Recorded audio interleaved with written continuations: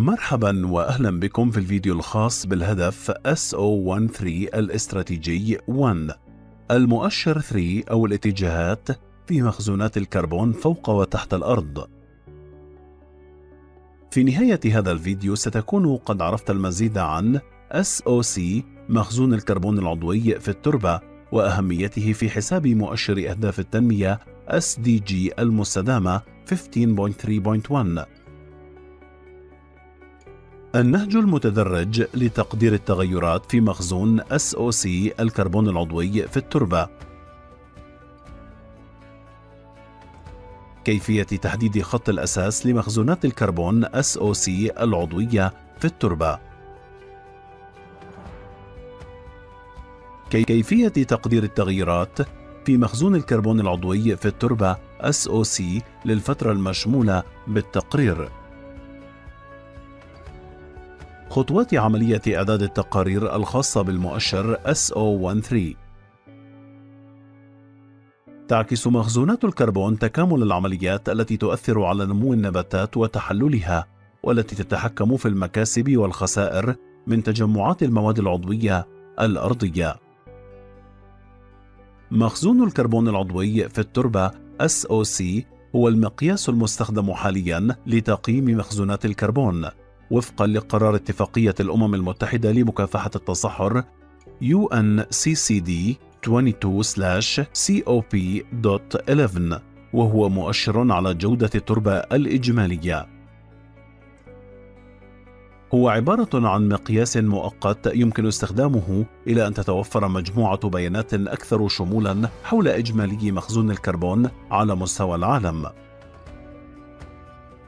مخزون الكربون في التربة SOC هو أحد المؤشرات الفرعية الثلاثة المستخدمة لحساب هدف التنمية المستدامة أو مؤشر SDG 15.3.1 وهو نسبة الأراضي المتدهورة على إجمالي مساحة الأرض.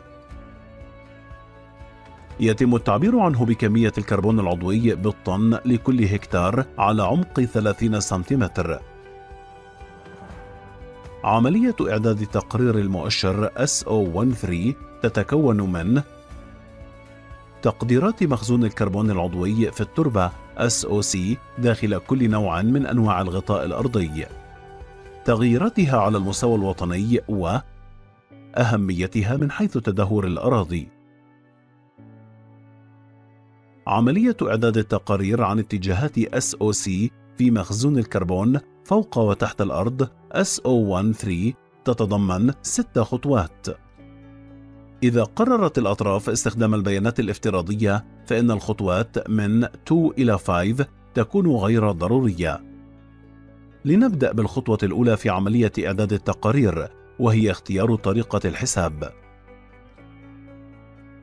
يمكن للأطراف استخدام إحدى الطرق أو المستويات الثلاثة الموثقة في المبادئ التوجيهية للهيئة الحكومية الدولية المعنية بتغيير المناخ IPCC لتحديد خط الأساس لمخزون الكربون العضوي في التربة SOC والتغيرات في مخزون الكربون العضوي في التربة SOC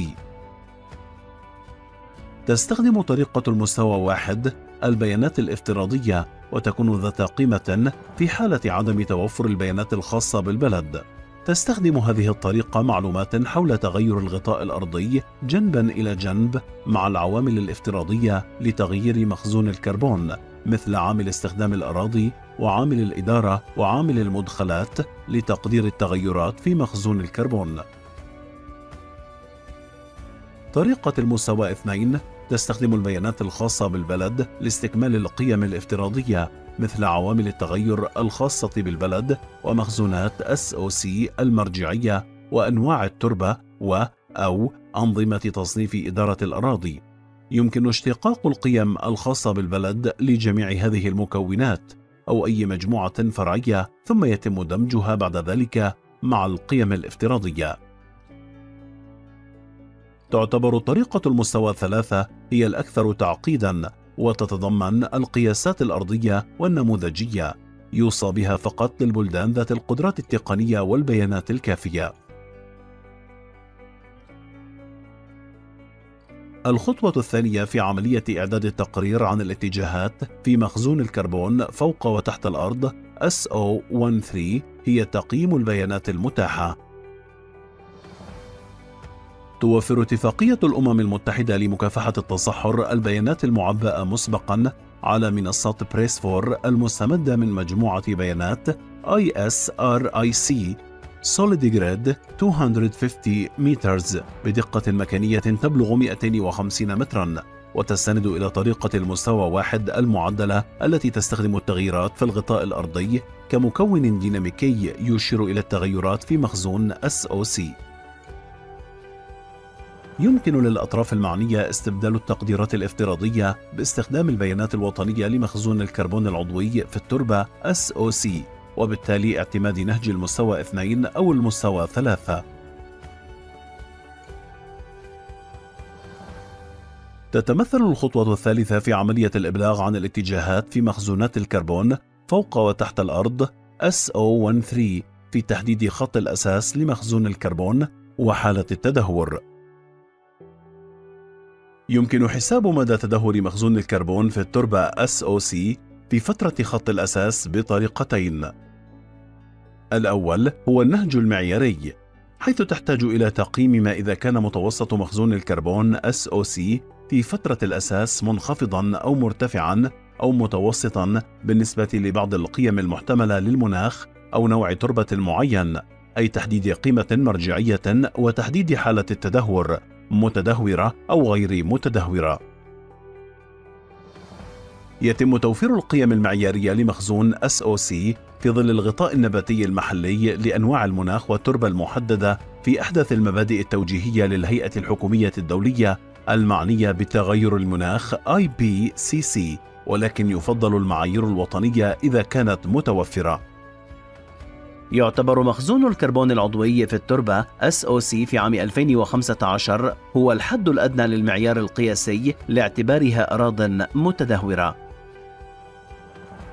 النهج الثاني هو تقييم التغيير الفعلي في فترة الأساس. يمكن القيام بذلك عن طريق مقارنة فترتين. على سبيل المثال، مخزون SOC في الفترة 2013-2015 مع مخزون SOC في الفترة 2000-2002 لتحديد التغيير النسبي. يتم تحديد تدهور SOC عند وجود تغيير سلبي أكبر من 10%. في المستويات الأعلى قد يعتمد تقييم تغيير مخزون SOC لفترة خط الأساس على تكامل البيانات الجغرافية المكانية مع مصادر متنوعة مثل التجارب الميدانية، المواقع المزدوجة، مواقع المراقبة، الدراسات العلمية ومسوحات إدارة الأراضي.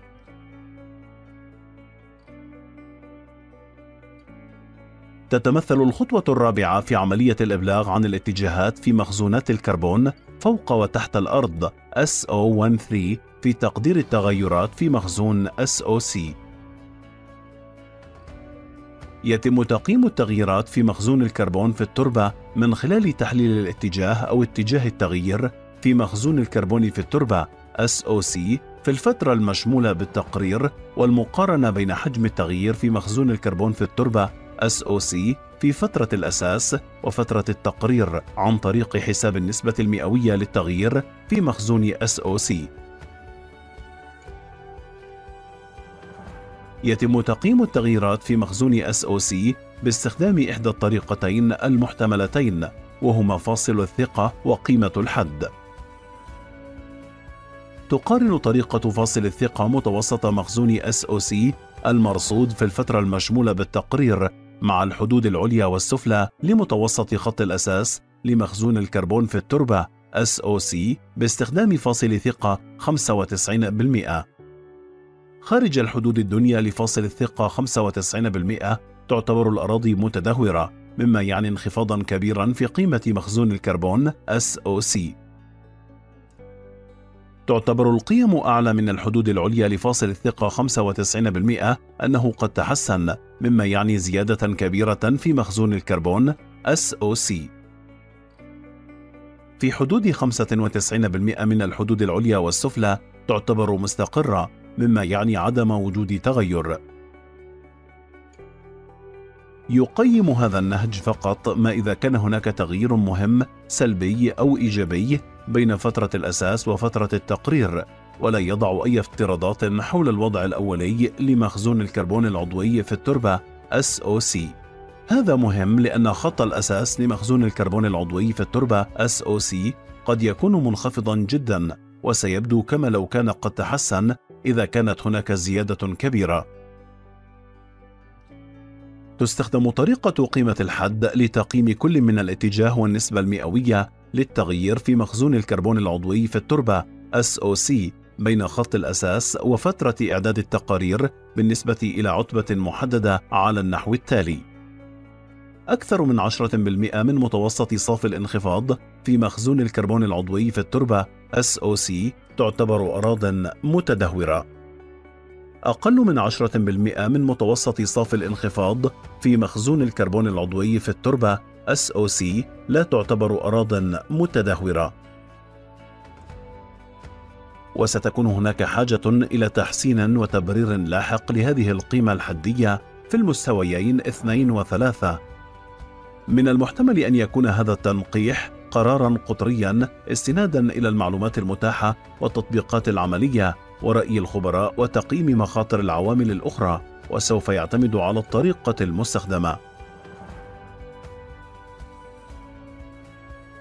الخطوة الخامسة في عملية إعداد التقرير عن الاتجاهات في مخزونات الكربون فوق وتحت الأرض SO13 هي الإبلاغ عن تقديرات مخزون SOC في بريس 4 يجب الإبلاغ عن تقديرات مخزون الكربون العضوي في التربة SOC على أساس سنوي حسب فئة الغطاء الأرضي في الجدول SO13T1 على منصة بريس 4 يجب استخدام وسيلة إيضاح الغطاء الأرضي الافتراضية وفقا لاتفاقية الأمم المتحدة لمكافحة التصحر UNCCD لتصنيف نتائج التقارير حتى إذا استخدمت الدولة في تقريرها وسيلة إيضاح وطنية مخصصة للغطاء الأرضي في الهدف الاستراتيجي SO1-1 يجب الإبلاغ عن التغييرات في مخزون SOC للتحولات الرئيسية للغطاء الأرضي من حيث صافي تغيير المساحة في الجدول SO1-3T2 افتراضيا تم حساب التغيير الصافي في المساحة بطريقة صريحة مكانيا في برنامج Trends.earth باستخدام مجموعة بيانات الغطاء الأرضي للسنوات الأولى والأخيرة في الفترة المعنية. تم ملء قيم التغييرات الأربعة الأولى في الغطاء الأرضي حسب المنطقة بشكل افتراضي. يمكن الإبلاغ عن التحولات الحرجة الأخرى للغطاء الأرضي لمخزون SOC بدلا من أو بالإضافة إلى تلك البيانات المعبأة مسبقا. يمكن حساب كثافة الكربون وهو ما يمثل مخزون SOC لكل وحدة مساحة في المنطقة التي تغير الغطاء الأرضي فيها للسنة الأولى والأخيرة. لا يمكن للمستخدمين تحرير هذه الحقول نظرا لأنها محسوبة مسبقا بناء على البيانات الافتراضية.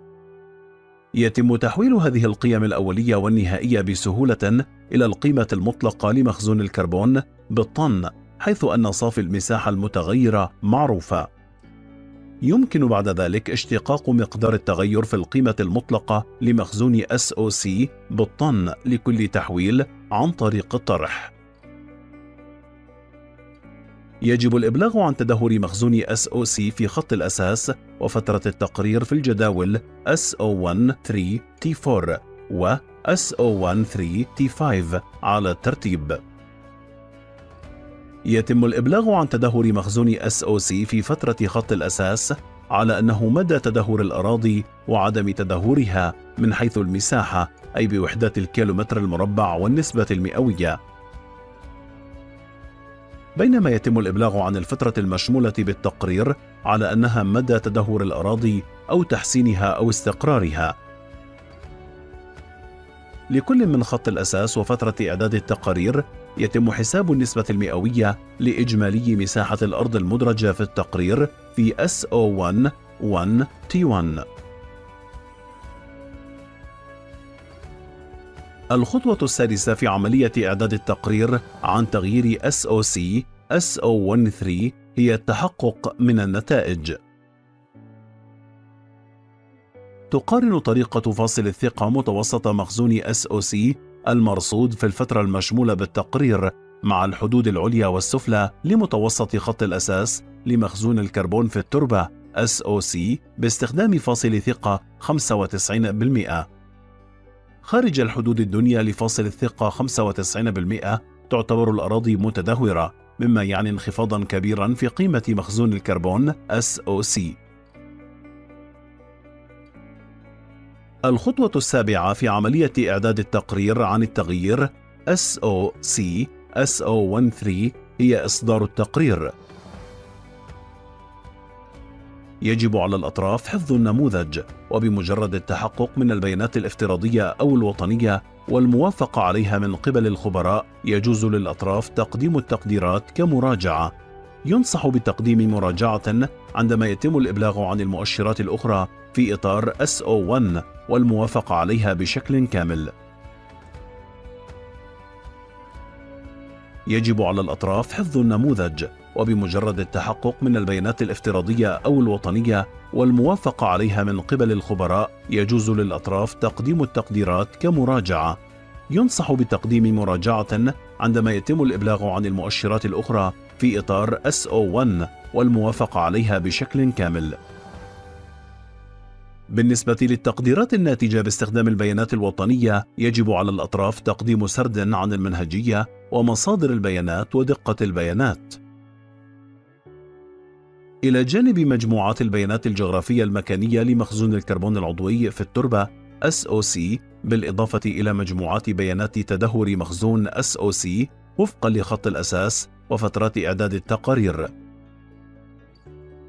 لقد وصلنا إلى نهاية هذا الفيديو الخاص بالهدف الاستراتيجي SO13 الاتجاهات في مخزون الكربون فوق وتحت الأرض.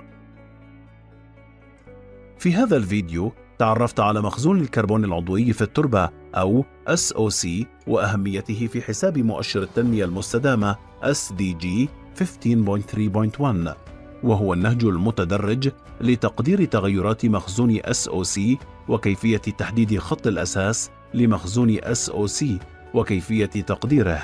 التغييرات في مخزون SOC للفترة المشمولة بالتقرير وخطوات عملية إعداد التقارير الخاصة بالمؤشر SO13 شكرا على وقتك.